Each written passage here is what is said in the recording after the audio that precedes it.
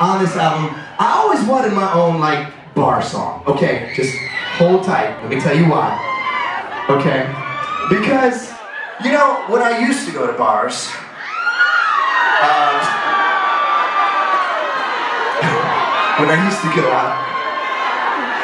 I would always hear them playing like my favorite classic rock songs. You know, they'd be playing Lynyrd Skynyrd, they'd be playing like Bad Company, Scorpions, like whatever. They're playing these songs, right? And I'm like, well, I want my own bar song too. So we wrote this on the album. It's a lot of fun. It's a little crazy. So when you go to your local bar, make sure you request.